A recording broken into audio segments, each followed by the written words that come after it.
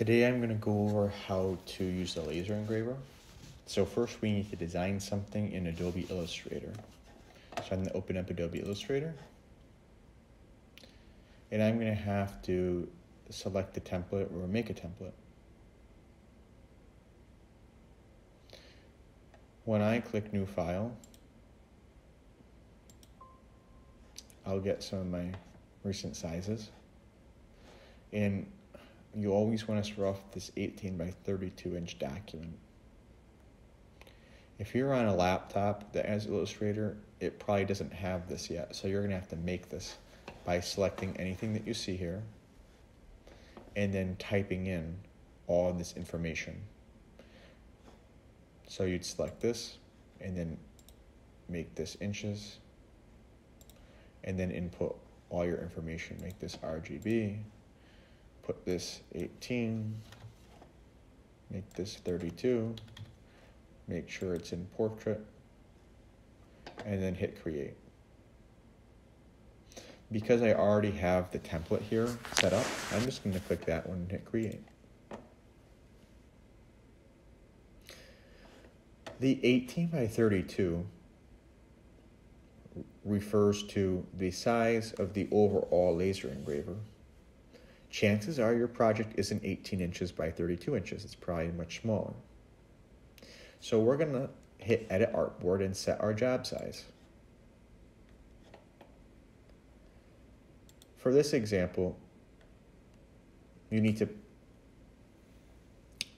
put in the actual size of the wood. So if we had wood that's 5 or let's say 12 and a quarter wide by 18, we would put that in. It's important that these dimensions are exact. If the wood is 12 and a quarter, you have to put in 12 and a quarter, not 12. In order to get a fraction into decimal form, you must take the numerator and divide it by the denominator. So 12 and 1 quarter, if you take 1 and divide by 4, you get 0.25. You add 12 to it, and that's how I got my 12.25. There are also charts hanging in the room and available online, which will list the fractionals, fractions and their decimal equivalent. When you're happy with your changes, click here or hit enter so it actually changes the artboard, which it did and then click Exit. You should only have one artboard. If these arrows are present, then you need to start, go back into art, Edit Artboard and delete it. So you only have one. We only want one. Now I have one artboard and the dimensions are set. I can start my designing. I'm going to go on the internet and find an image that I want to laser engrave. I want to do this image, so I'm going to right click, copy. And then I'm going to paste it in my file.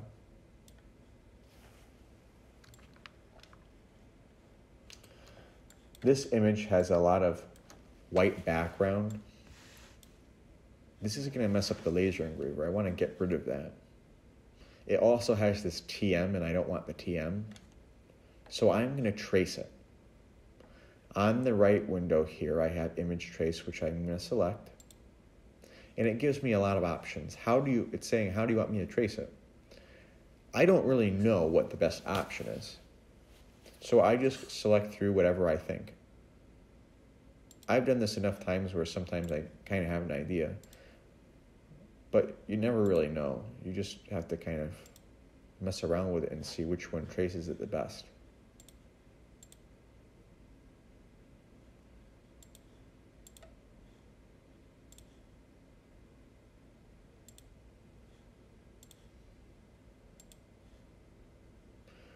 In this example, I like the low fidelity photo the best.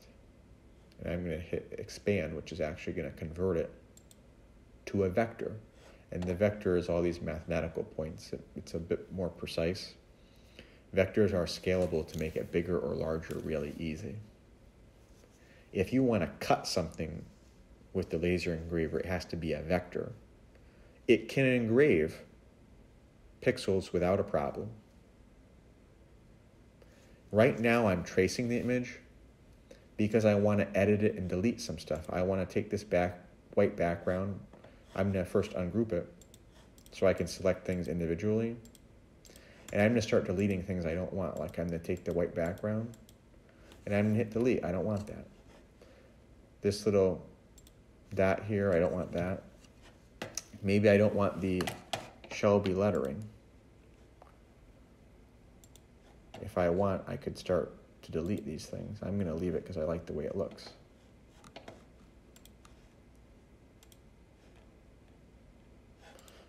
When you delete whatever you don't want, make a big box and hit group.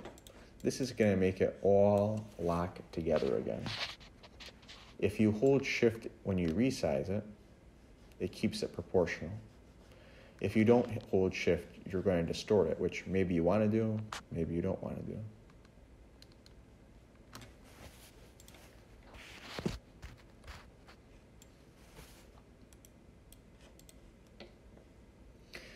You don't need to trace every image you laser engrave. You only need to trace it if number one, you want to cut it out, and this video does not go over cutting. Or number two, if you want to start deleting and editing the image. I could have just left the image untraced and engraved. It would come out different than it will now, but that is an option.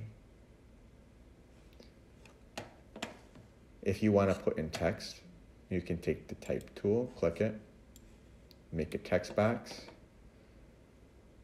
It's small right now, so I'm going to increase the font size just so it's easier to work with.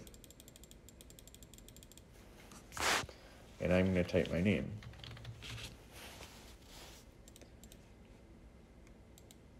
If you select the text, you can then change the font to something that you'd like if you don't like the default font.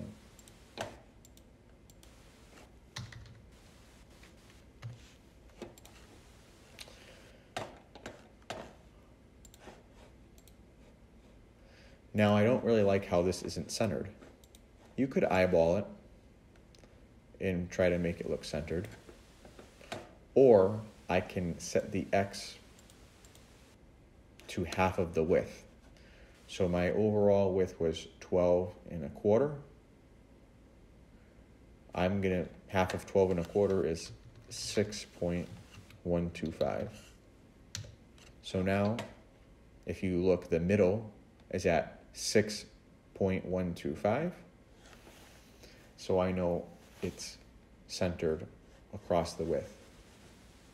I don't want to center it across the Y because I have stuff that's going to be under it.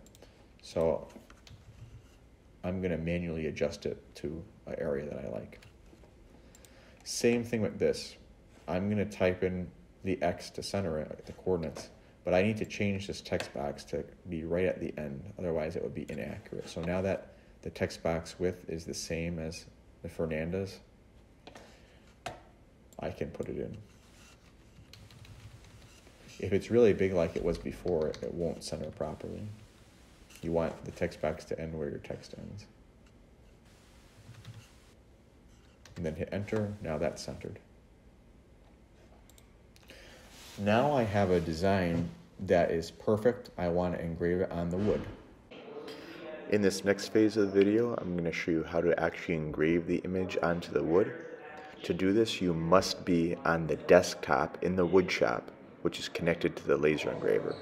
You cannot do it from any of the laptops. I click File and Print.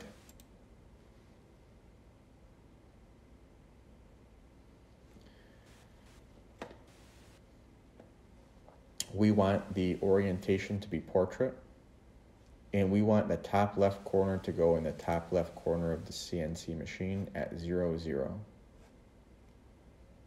This phase of printing can only be done at the computer that is hooked up to the laser engraver, by the way. You can't do this on the laptop. You could do all your design work on the laptop, but then you're going to have to save the file and come to the desktop that's hooked up to the laser engraver and do this phase. So I've got my orientation portrait, top left corner ZZ. I hit setup. I hit continue, and I go to preferences.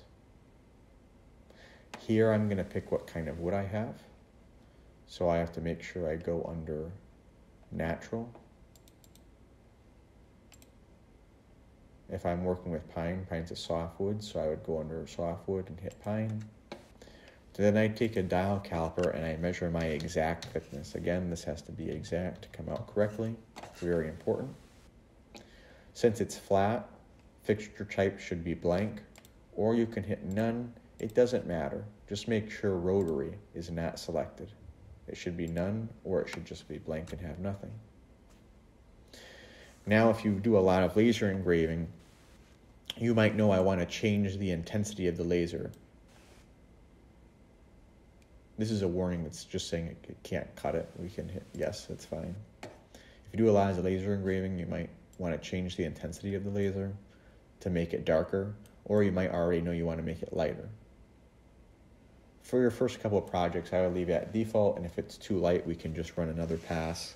In that second pass, we could decrease the intensity or increase it based on what you want. I've been doing some edits right now, you can see, right? But nothing is permanent until I hit apply. When I hit apply, it saves it. When apply is grayed out, that means you actually made a difference. Sometimes you have to hit apply twice. If I make a change and I want it plus 50, it's not doing it until I actually hit apply. Now it locked it. If I make another change, again, it's not current until I hit apply. If I'm happy with all my settings, then I hit OK, hit print. Some of this changed. I have to again make sure it's portrait, make sure my top left is zero, zero, and I hit print. Now, I minimize my Adobe Illustrator, and when I go to the UCP, which is again on the desktop, here's my drawing. I have to look, make sure it's in the right spot.